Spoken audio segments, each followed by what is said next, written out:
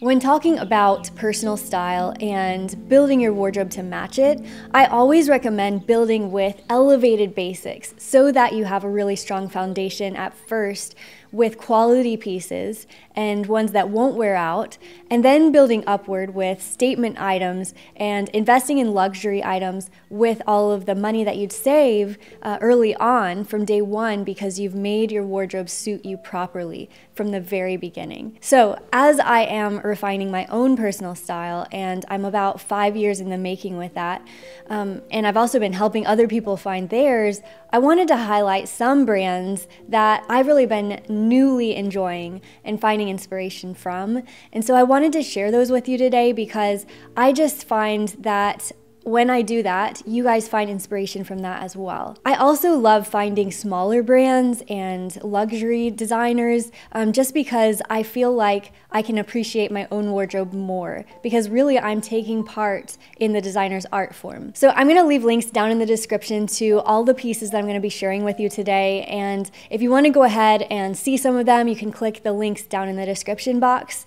And also to help fund these purchases that I've been making, which are luxury, I'm partnering with Saks Fifth Avenue today. They sent me some spending money so that I could choose whatever I wanted to buy, and then I did definitely spend a little bit more of my own money too.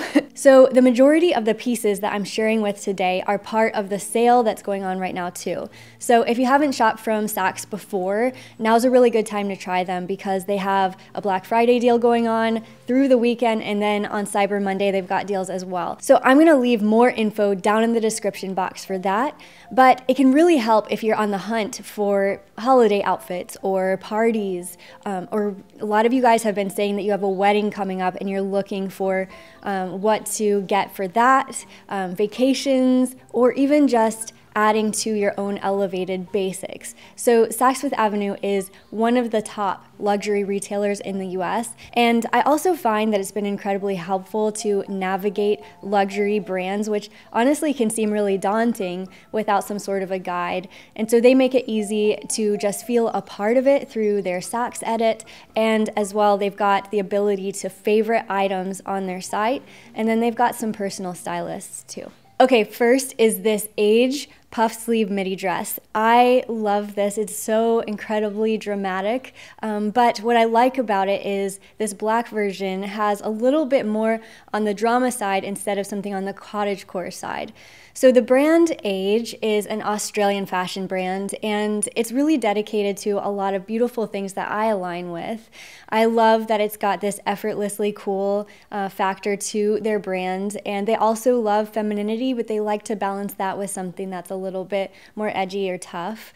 And I feel like this was much needed to have this black version instead of some of the uh, white versions that are available, just because instead of the typical cottagecore dress, this one has um, more of not only the drama, but um, just the elegance that comes with a little black dress. And this is by no means little. It's got all of these beautiful details with this tiered skirt portion. And then, of course, the signature sleeves that Aje is known for. I'm so used to calling them age, and it's like a really hard habit for me to break. For starters, with this dress, though, not only is it something that is beautifully feminine, but the casual part of this is that it has these pockets as well. And anytime I can find something like a dress with pockets, it just automatically lets it sort of drape and swoosh a little bit more um, in a relaxed way. It makes more sense for my lifestyle. I could even hide my phone or my keys in it, and then it's just not as big of a deal as an elegant dress like this. It's something that I can actually work into my everyday style. I also like that the bodice is smocked, which gives it a little bit more stretch, and that allows for it to look tighter on my torso and having the rest of it just, you know, have that fun of the of the all all of the volume and um, extra layers of fabric. So it's really fun to experiment with. And for this look, I decided to try a baseball cap with it. And that just really balanced it a little bit more into the casual realm. And then also, it's fun to be able to experiment with shoes. And so, for this dress, I decided to take a Western taste with it. And so that really makes it balance out. It takes it away from the, the femininity of it and then it like pushes it into a different sort of femininity with the Western style and a little bit of that toughness that the brand loves. And then just wearing it with a pearl brings that sweetness back and it complements all of the puffs well, as well as the color of the hat. Also, if you really are looking for a dress to wear to an event, whether that's a wedding, um, just depending on the, the color scheme, of course, of the wedding, the dress code, then this might be a perfect option for that. Or um, I would totally wear this if I was hosting some sort of holiday event. Totally wear this to a Christmas party. Um, yeah, there's just a lot of ways I could see myself wearing this dress beyond just like a one off occasion. The next brand is Alice and Olivia, and this cardigan I'm wearing is a puff sleeved cardigan that has so many beautiful details I want to get into today. I truly fell in love with this cardigan when I saw it on the Saks website. Um, in general, white and black have always been what I consider my color scheme. Everything from my wedding color scheme to my first apartment was all black and white. It's just something that I am drawn to in general. And a really good example of a cable knit sweater that is not bulky is this cardigan it just has so many beautiful details on it where it is cable knit and it's got these beautiful little dots all over it. And then, of course, these ribbons in the front, um, they really balance the sweet and sexy. And that's something that you can definitely tell from this brand um, that they do a lot of. It even has a little extra fabric sewn into the shoulders just so that you can have that extra puff here. It's just so unique, um, something that I haven't experienced before. So you can wear a cami underneath this if you would like to, but if you're thinking of a date night sweater, this could be worn alone because it's not itchy at all. Somehow I don't know what they did, but it is just so incredibly soft. Um, it's also very romantic, you know, to have a little bit of skin show. And so, what I'm working with here is just a high waisted pant so that it's not too much, but I still feel totally cool and comfortable in it and in my own skin.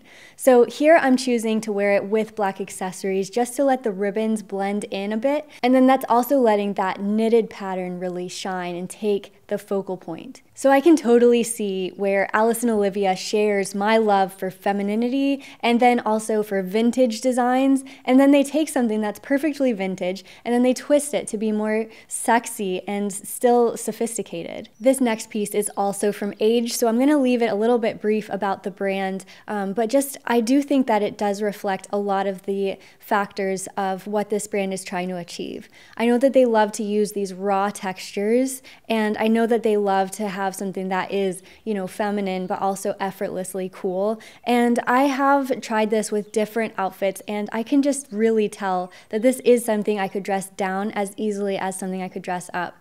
So, in the case of what I'm wearing today with it, you know, just having these black silk pants does make it a little bit more formal, but still so relaxed and effortless to wear. So, when I'm thinking about what I could wear that is so chic but also so comfortable, then this is a really good option. Um, again, this is another piece that I can wear without having to wear something underneath it. It's not making my skin itchy at all.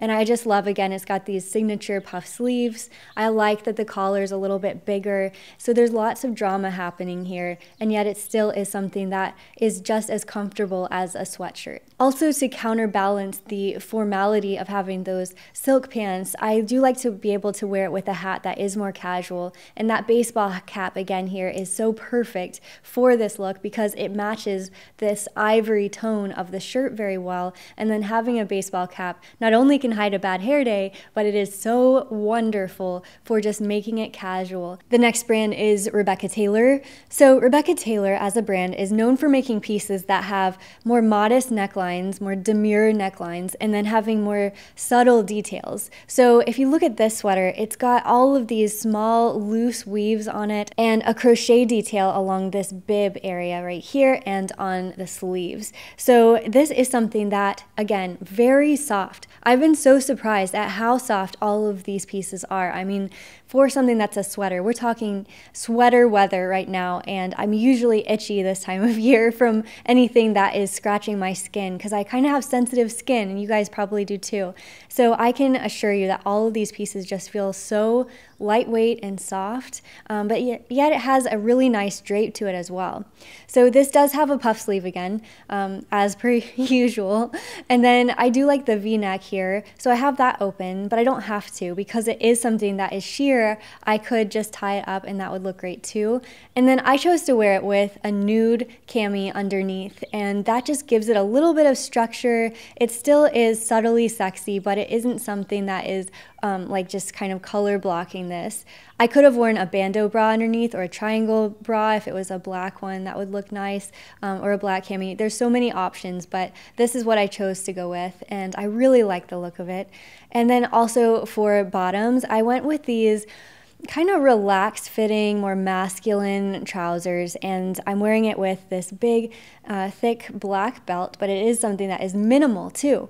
So I'm working with having small details with this outfit, and yet also having this balance of having uh, more intricacy and uh, more of a refined taste altogether with these pieces. Since I have covered this baseball cap in three or four outfits so far, I might as well cover it now. this is by Nanushka, and that is a brand that is new to me. It's something that I've had my eye on. One thing that I liked about it is that it does say Nanushka on here, it's embroidered on the cap, but it is something subtle. So if you are like me, where you don't mind a logo now and then, but you don't want it to be like in your face, then this is really tasteful. I also like it because I do wear baseball caps with nice outfits, and so having one that is just so perfectly considered as far as the color, it's almost like this buttermilk sort of ivory. It's not like it's not like a blush ivory or anything. It's got a true yellow note to it, which is good for my skin tone personally. But also, the brand itself is really interesting. Nanushka is a very sustainable brand. That's definitely where they have their heart centered. And so, for this hat in particular, it is organic cotton, which is something that I try to reach for whenever possible. It's not something that I can do 100%, but whenever I can find it, I feel really good about it. It feels so much softer and then it also is really great for the farmer as well. And next is Sandro. Sandro is a Parisian brand that is known for luxury. It also is known for having a more modern and sophisticated style. So it has really clean lines, and the aesthetic is supposed to look sophisticated. So it looks like it's something that you would wear um, to some sort of academy. And this lace collar definitely makes me feel that way. It definitely has that academia vibe to it. So I went ahead and added this pendant necklace to it.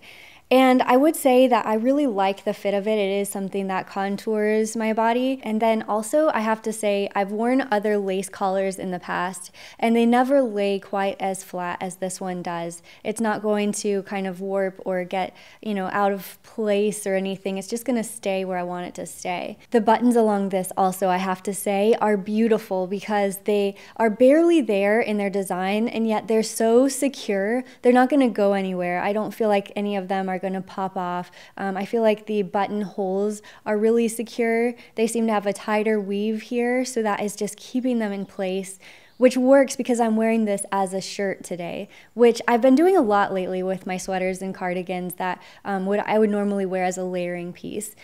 So, with this said, I would say also that the fabric feels comfortable. Um, it's more of a ribbed pattern on here as well, as far as the um, knit. And also, because I'm embracing the academia nature of this top, um, I'm not wanting to do that completely head to toe. I am balancing it out a bit here with the boots, but I also like to not have a color stand alone in my outfits. And so, I am reintroducing that color um, with my hat and with my bag and with my pearl. I've had this Ralph Lauren cropped blouse for a few months now, but I had to share it here today.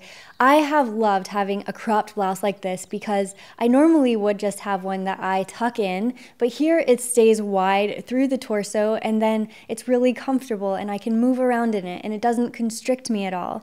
And I really refined my taste in white blouses. I do collect them to some degree, and this one is my favorite out of any of them. I have even successfully washed it and steamed it back into perfection a few times now. I personally like to pair it with just a regular pair of jeans and then boots, and that just makes it look a little bit more relaxed and casual. You know, I could wear it with a skirt, and that would be a completely different look. But here it just looks so feminine. I love the little bow at the bottom, and I'll be sure to link it because right now I think it's available in every size that it comes in. And those were my picks from some of my new favorite brands that I've been trying. And thanks so much to Saks Fifth Avenue again for working with me today. Such a dream come true. So you can check out their site and also the deals going on right now in the description box below. And I will see you guys next time. Bye.